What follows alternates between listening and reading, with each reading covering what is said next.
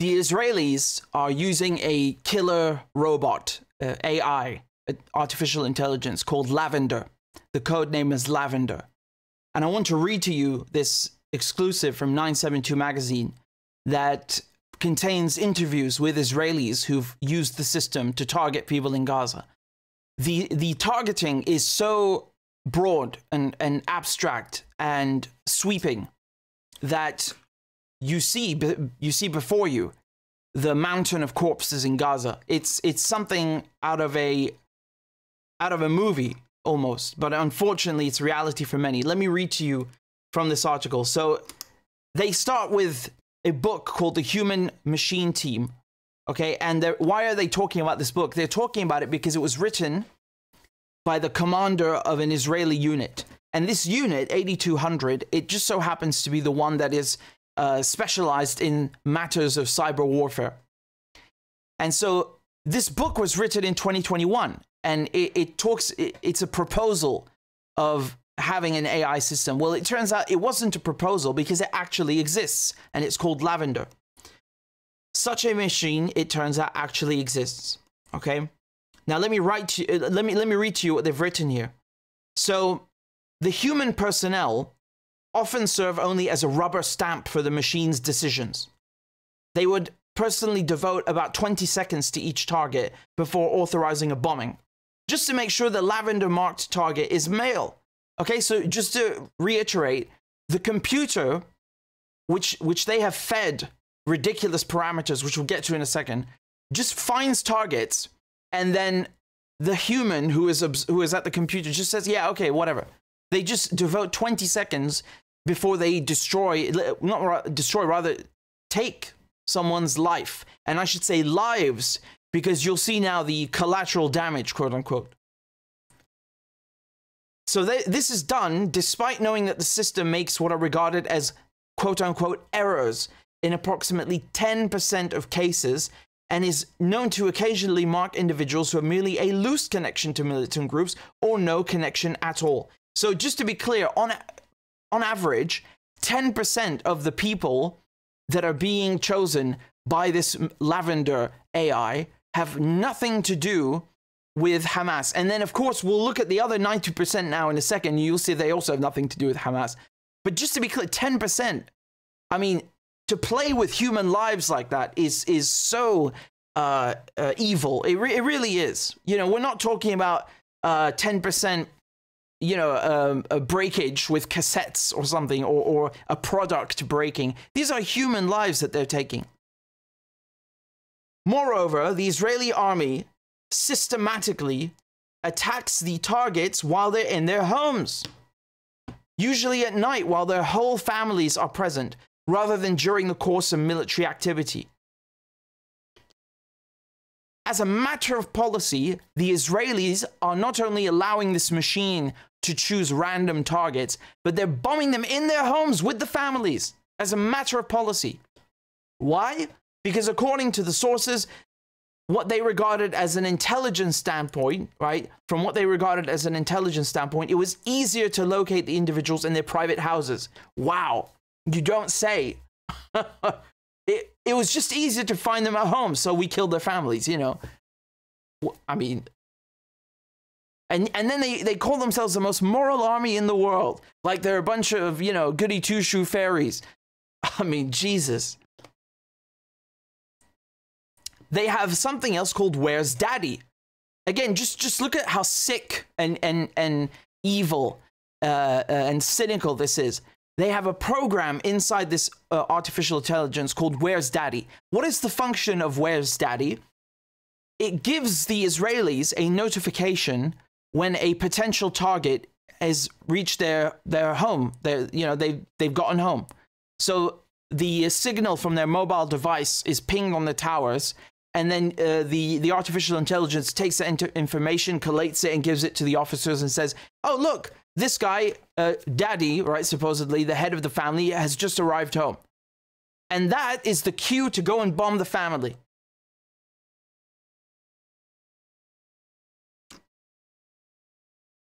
The result, as the sources testified, is that thousands of Palestinians, most of them women and children, or people who were not involved in the fighting, were wiped out by Israeli airstrikes, especially during the first weeks of the war because of the AI program's decisions.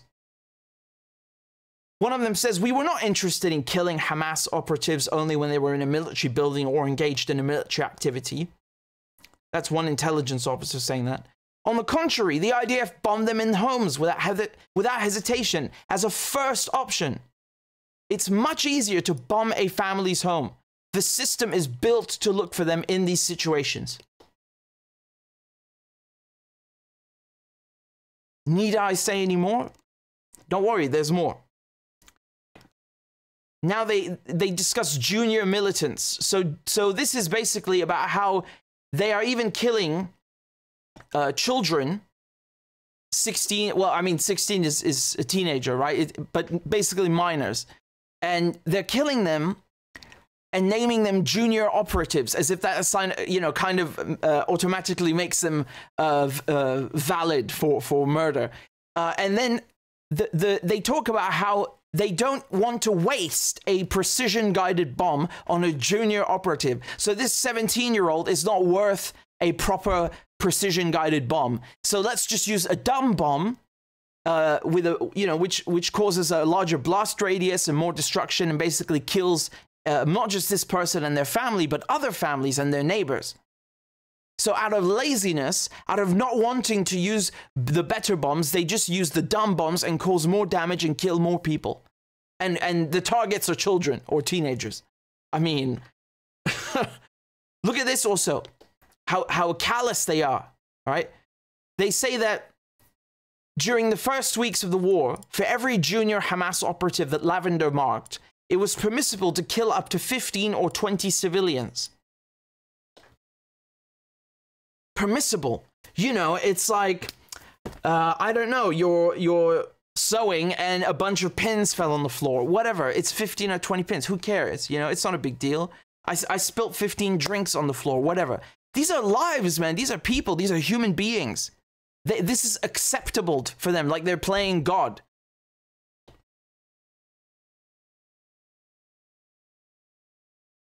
The sources added that in the event the target was a senior Hamas official, whatever that means, because according to the Israelis, a doctor in hospital is a Hamas official, with the rank of battalion or brigade commander, the army, on, the Israeli army, on several occasions authorized the killing of more than 100 civilians in the assassination of a single commander. So the computer is telling them, "We, this guy is here. We can bomb him now, but you're going to kill 100 people. Do you want to proceed?" And they say yes.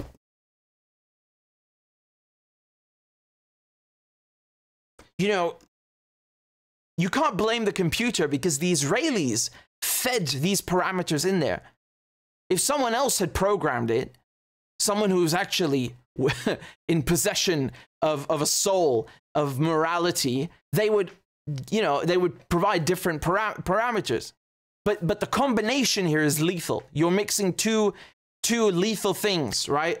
And, and, and making the effect of the Israeli war machine all the more exponential. That, that's what's going on. You're, you're industrializing and automating what is already a corrupt army, an occupying army, a, an, an evil army. Because remember, I want, I want to be very clear before I give you the other details. I was going to save this for the end, but I might as well say it now. The computer doesn't matter. The Israelis have always behaved like this. You have to understand this. The Israelis have always, always, always caused disproportionate damage. This is their doctrine. They believe in this. It's the bread and butter of the Israeli military, a bunch of terrorist groups, literally. The computer is not the issue here, it's the Israelis.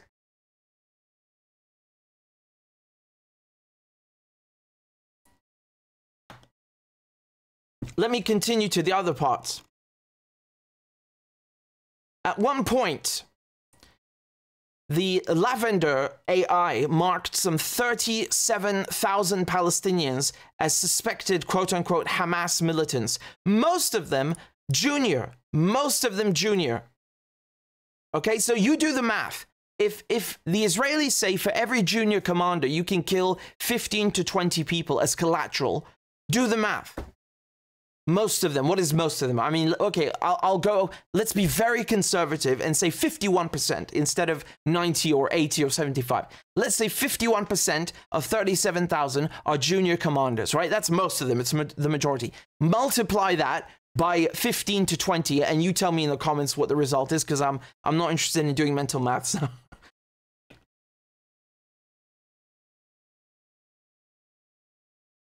So the reason behind the development of this is they wanted to they wanted to allow us, the, meaning the the uh, uh, people running the machines, to attack the junior operatives automatically. It's the holy grail. Once you go automatic, target generation goes crazy.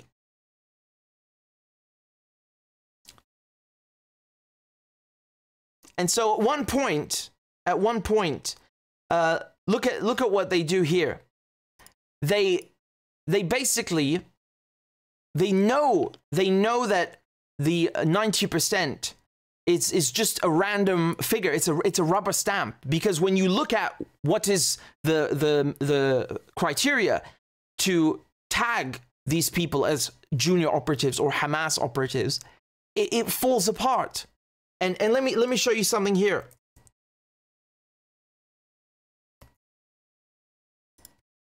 Look at look at the criteria okay So, for example,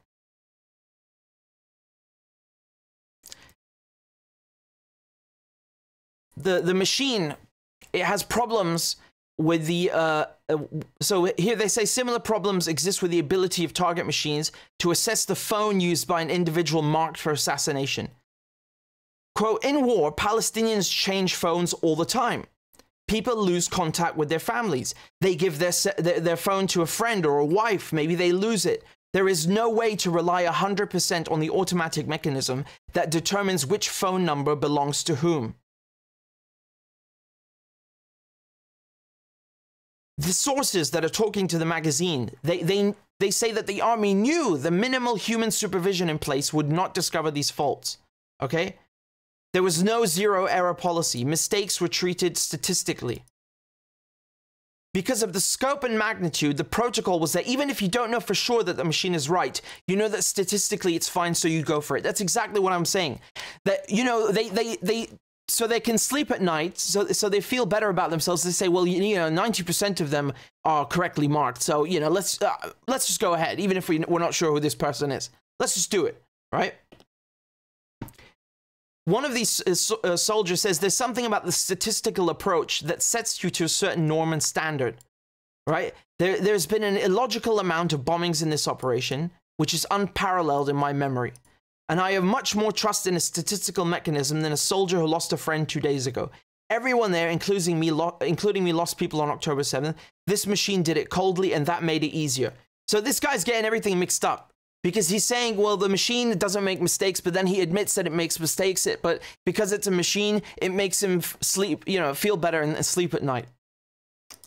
It really says a lot, doesn't it? It really sa- it tells you everything.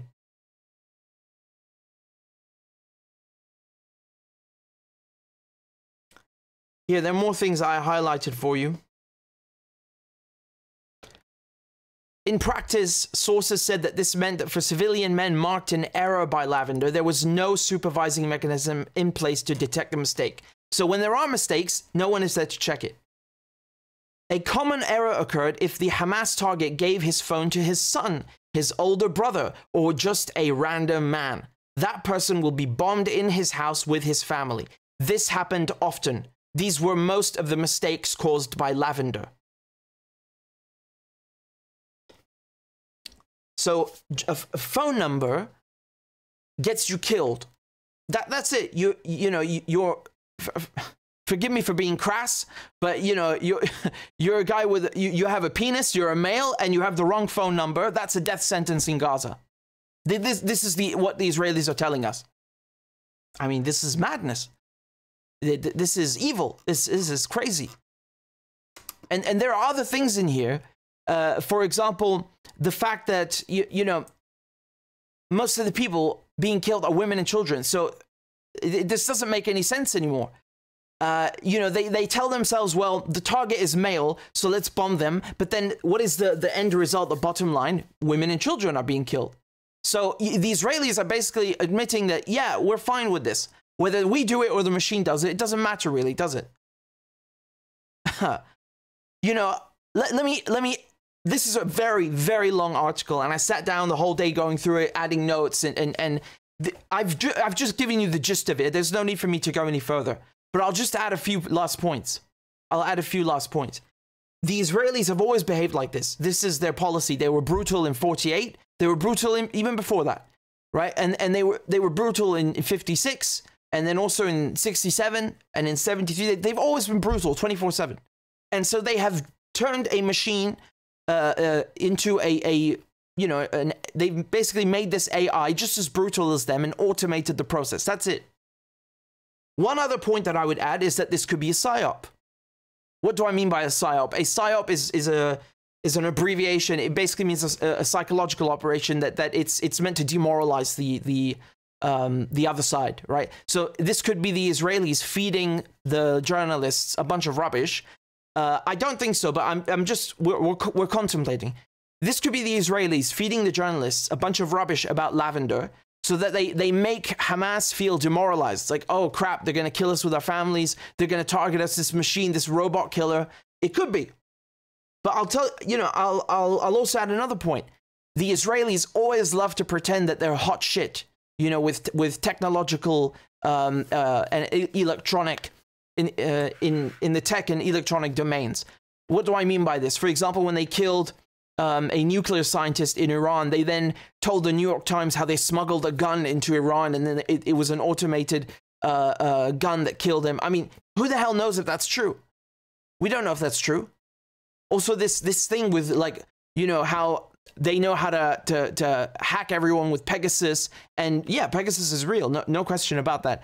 But the, the Israelis have cultivated an image about themselves which serves them. It demoralizes people. They, they can sell cyber weapons, etc. Right? So you, you shouldn't buy into it too much.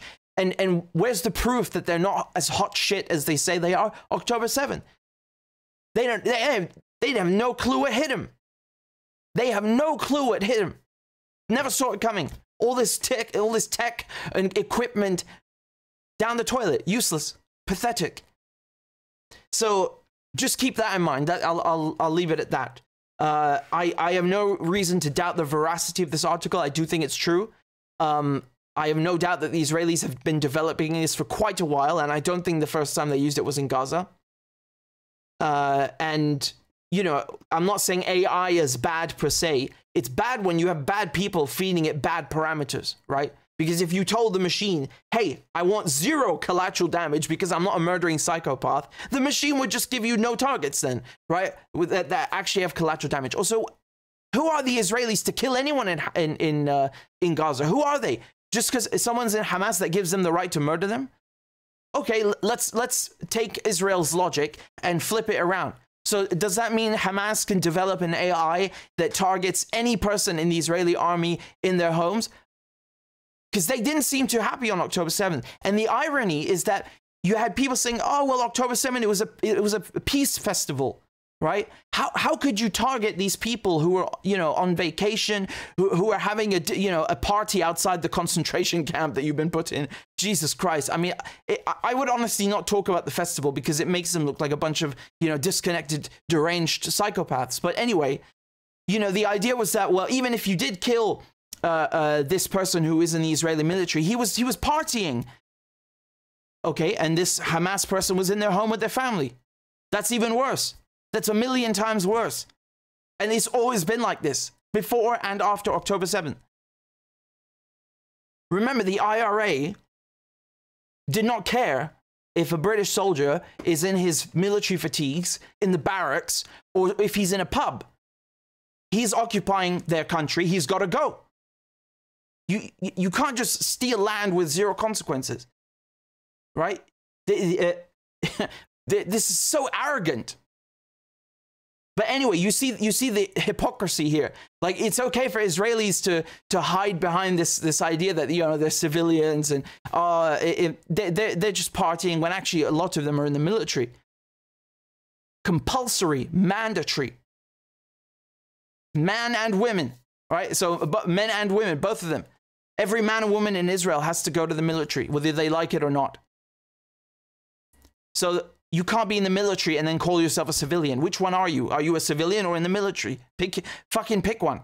but anyway, we're going off on a tangent here. I just wanted to point that hypocrisy out. This is this is the um, you know equivalent of a Terminator. Make no mistake.